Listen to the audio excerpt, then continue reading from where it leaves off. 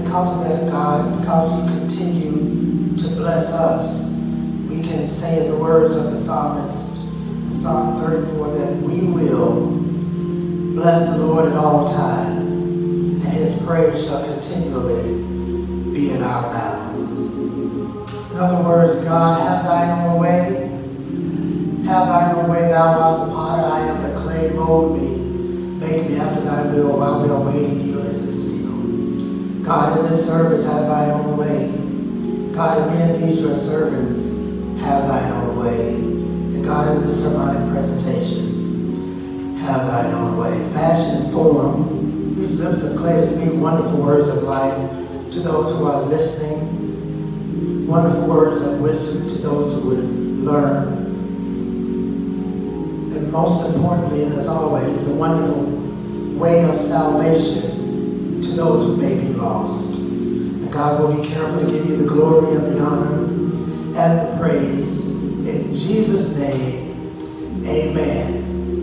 Amen. This is the day that the Lord has made. We will rejoice be glad in it. I know you're out in virtual land, but if you're just glad about this day that the Lord has given you, won't you uh, go, just go ahead and type Amen. Praise the Lord. Hallelujah. Glory be to God. For this is the day that the Lord has made. Amen. Amen. There is a word from the Lord on this day, found in Luke chapter 6 commencing in verse number 6. Luke chapter 6, commencing in verse number 6. And uh, I'll give you a moment to read, uh, find that in your Bibles. We would have you read the whole chapter, for therein lies the context from which we shall attempt to preach. Due to the length of that text and the limitation on our time, we want to zoom in on Sermonic Spotlight on in verse number 6. And it reads as follows. And it came to pass also on another Sabbath that he entered into the synagogue and taught. And there was a man whose right hand was withered. And the scribes and Pharisees watched him whether he would heal on the Sabbath day, that they might find an accusation against him. But he knew their thoughts, and he said to the man which had the withered hand, Rise up and stand forth in the midst. And he arose and stood forth.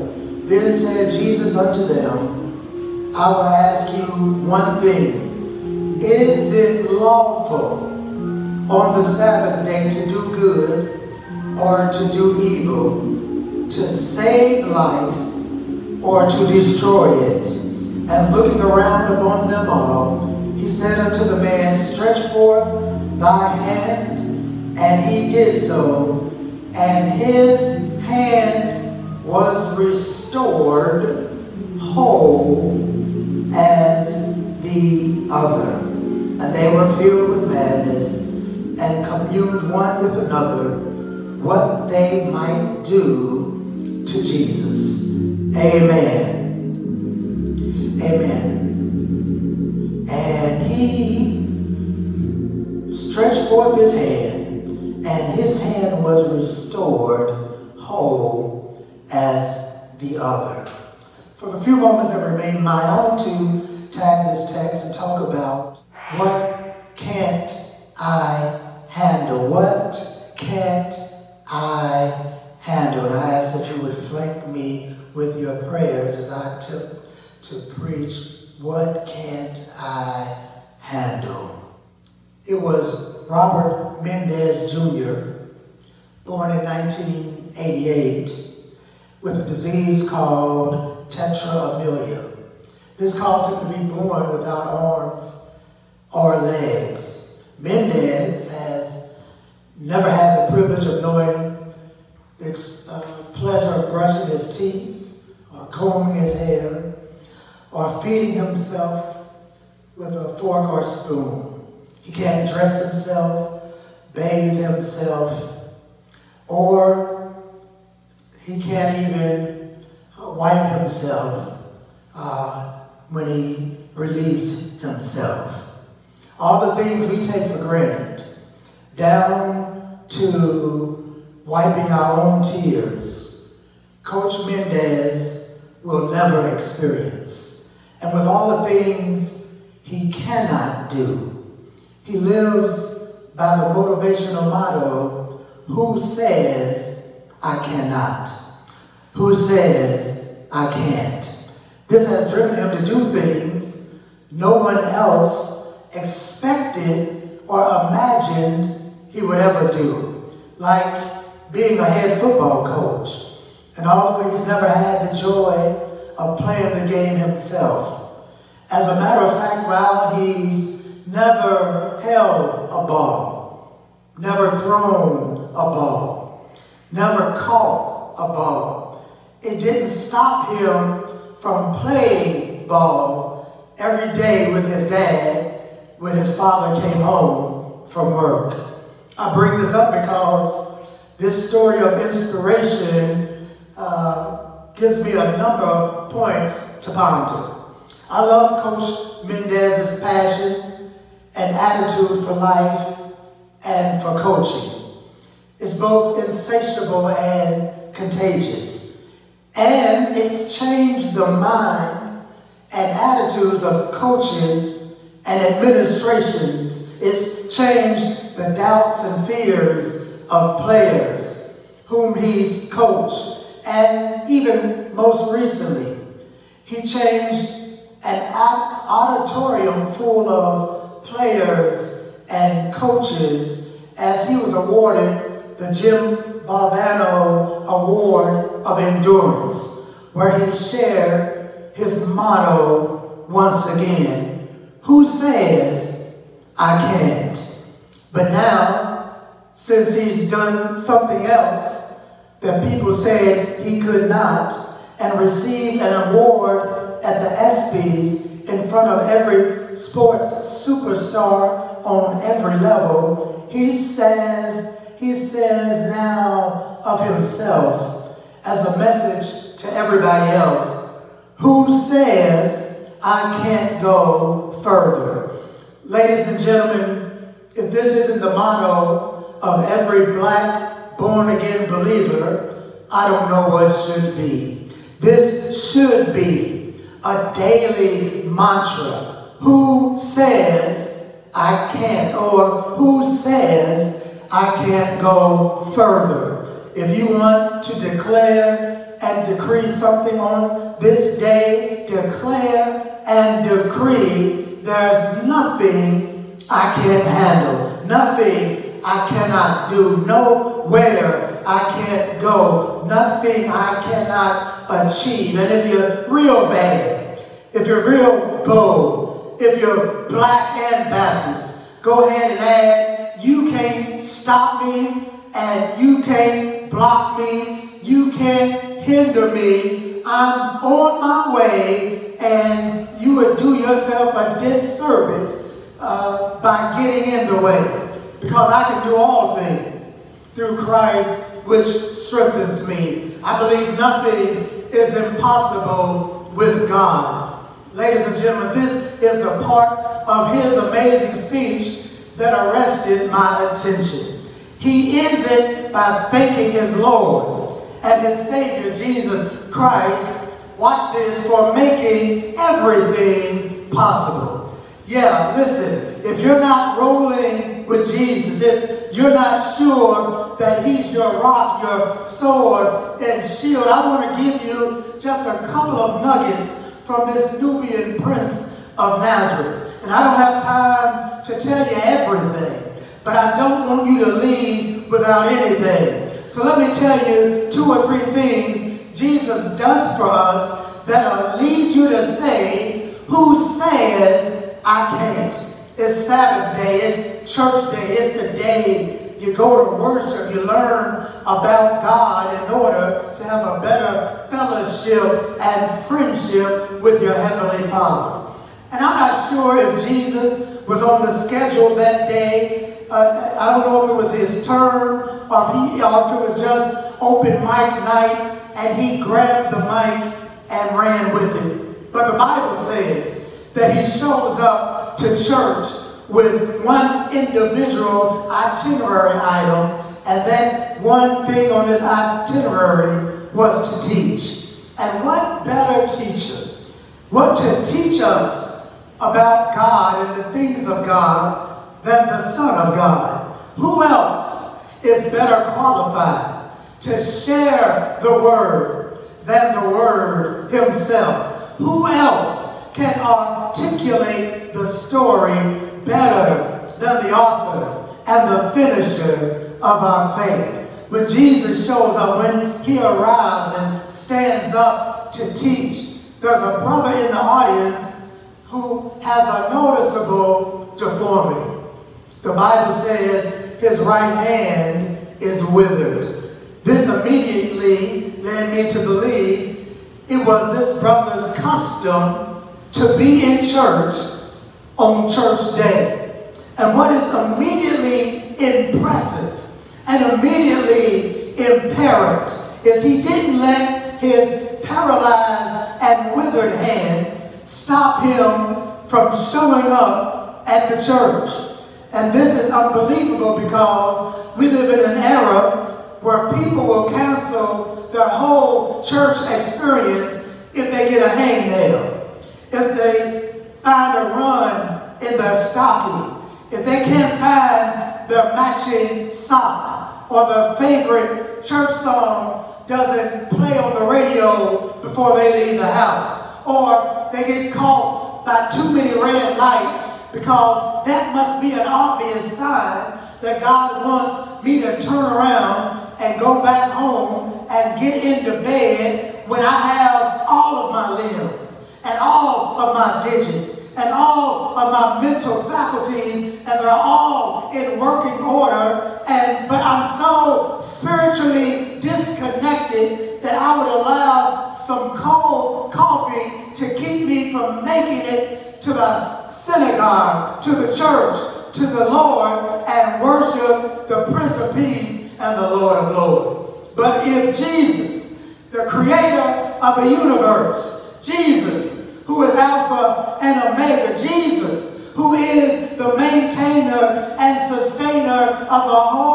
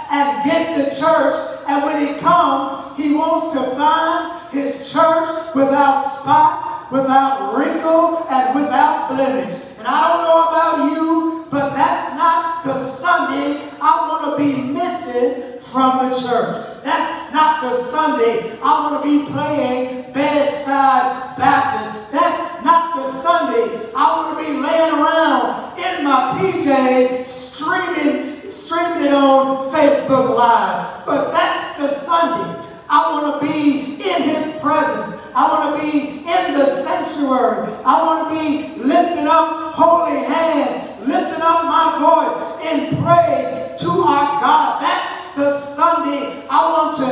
Enter into his gates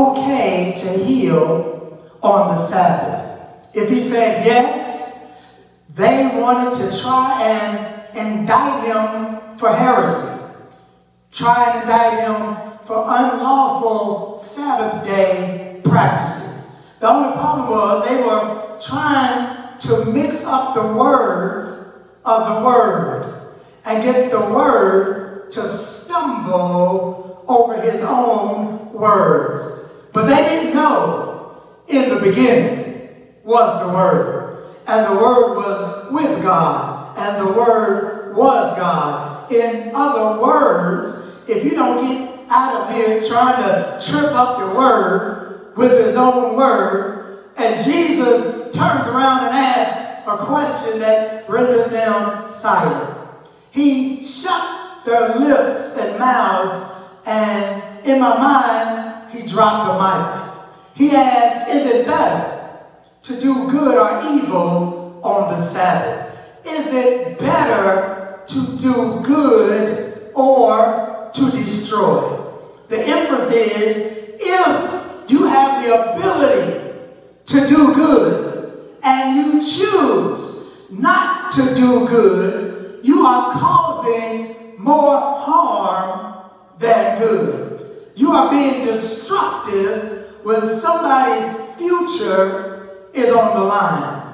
It is always lawful to do good. It is always necessary to do good. We will make up excuses. We will find reasons not to do good. When we, we will blame other people and circumstances for not doing good. We can blame the time, the day, the weather, or even the fact that they did you wrong or never have done anything good, so you don't have to do anything good for them.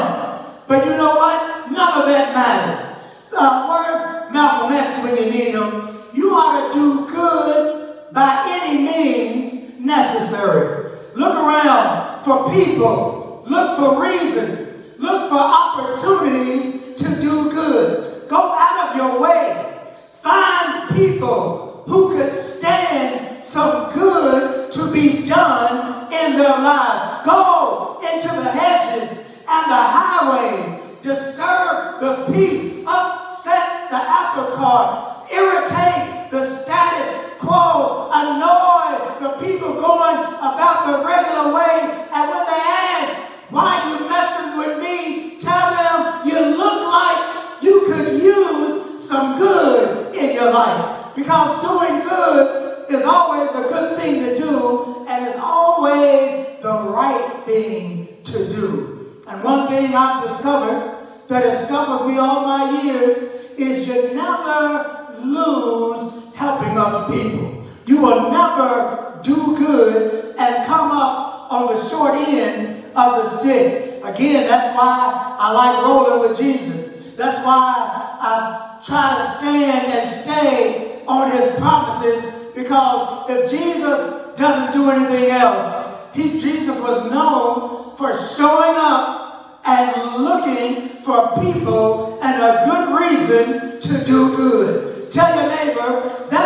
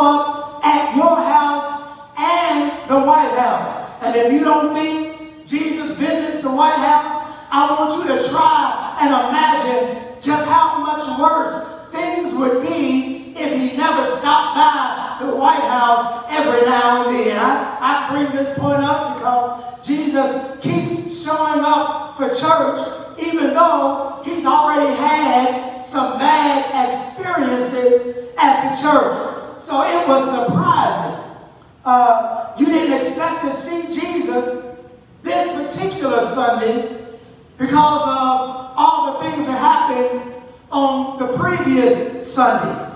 Uh, because you know how we do it. If we have one bad experience at church, we won't even give God a second chance. But on first Sunday, if you read through the book of Luke, Jesus was rejected in Nazareth because he says no prophet has honor in his hometown. On the second Sunday, if you will, Jesus had to curb and swerve his own countrymen so they wouldn't throw him off a cliff. On the third Sunday, he had to fight a demon in Capernaum. On the fourth Sunday, they stopped him in a cornfield because Jesus and his disciples were picking corn and eating it right off the stalk on a Sabbath. In other words, Jesus had to argue with some corny dudes about eating corn in a cornfield on his way to the church. But Jesus still made it to the house of the Lord. May I tell you why? Because Jesus likes hanging around people who don't have it all together. Like, don't we say that all the time? Everybody has something. But when we say it, we're usually talking about y'all and we're rarely talking about all. Isn't that interesting? People with all kinds of sins attempt to segregate themselves from other people who have different sins. People who are messed up try to minimize their sin and maximize everybody else's sins. But on any given Sunday, when you show up in the house of the Lord, you're going to have some blind and some crippled and some crazy. You're going to have tax collectors, prostitutes, and sinners. You're going to have adulterers and fornicators. And this should give you both license and liberty to show up with what you got, with your jacked up self, with your toe up from the floor beat up self. You never, because you never know when Jesus is going to meet you and have mercy on your heart, when he's going to highlight your hurt and heal, heal you where you're broken. Jesus shows up because not only because church is important, Jesus shows up because you are important. He's been arguing all along in his ministry that you are more important than any animal on old MacDonald's farm. That you, being the best of God's creation, deserve more attention and respect than your dog and your cat and your cow and your goat and your sheep and your bird or your fish. And it's crazy, but some folk, not anybody listening tonight, but some folk will go on vacation, drive by a whole village of homeless folk, put their dog in a dog hotel where he have a dog day at the spa while they're on vacation. But Jesus values more, values you more than your dog. Today might be your day. So don't miss church. Bring you and your ailment. Bring you and your disability. Bring you and your disease to the house of the Lord. Because Jesus shows up at unexpected times and unexpected places just to do what you never expected. I can handle it. Secondly, because Jesus doesn't just do the impossible, Jesus does the unimaginable. Uh, with all the medical advancements, it is possible for a paralyzed hand to be treated and healed. But even in the 21st century, the best doctors in all the land are unable to restore a dead, withered, dried, paralyzed hand with a local atrophy and restore it back to its original state. At best, for an amputation and a prosthetic to be placed where your hand used to be. That's another reason to stay close to Jesus. That's another way to stay in contact and communication with the Creator because you never know when God will get tired of you not being able to give 100% of 100% because you've been doing the best you can with less than He gave you. You've been doing the best you can just with whatever you had left. But how much more can you do, could you, could you do with all of your digits, with all of your mind, with all of your heart? Jesus doesn't just do the unimpossible. I said he does the unimaginable. He restores the man's hand to its original state. And the good news is what he can do for the human man the same thing he can do for the human hand. He can restore you back to your original state in an age and an era where people are getting canceled on social media and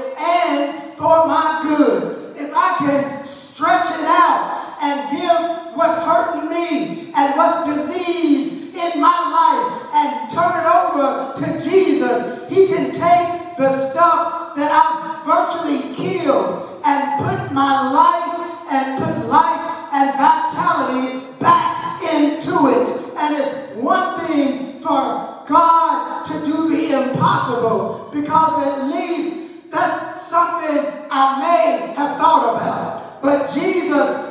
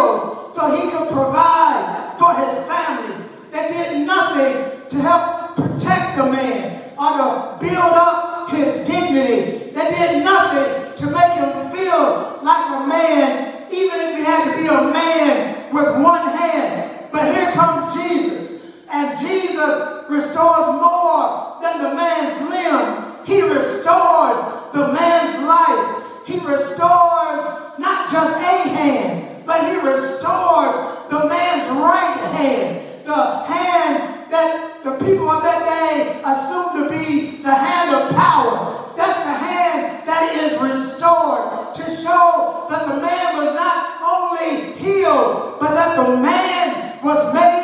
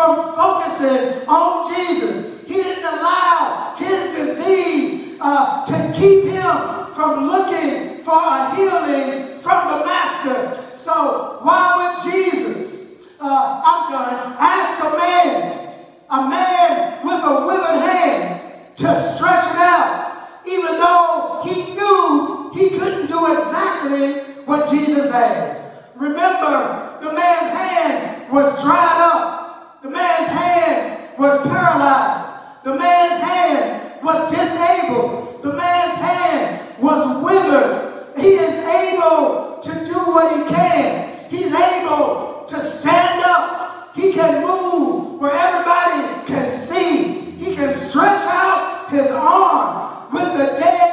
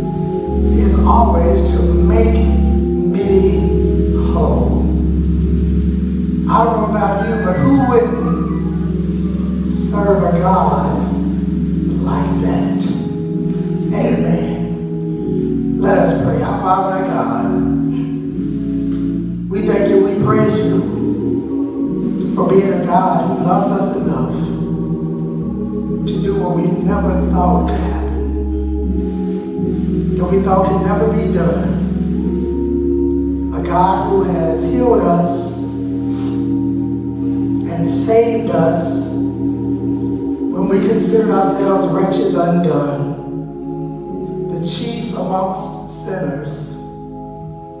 But your blood was strong enough and powerful enough to flow down from the highest mountain to the lowest valley and find us where we were and look beyond our fault and see our need. God, there may be somebody out there today who doesn't think they can get out of whatever they're in, whatever situation they're in. But we come to give notice that our God can, that our God will, and most importantly, He's already done for us or for somebody like us what they need Him to do today. So God, let them look to the hills from which cometh their help, knowing that their help comes from the Lord. And we ask it all in Jesus' name and for his sake. Amen. Amen. We pray that something has been said or done this week during this broadcast that will be a blessing to you and that you will catch us again on the next time. Uh, and until then, God bless you and have a spell upon you is our prayer. Amen. Peace. God bless.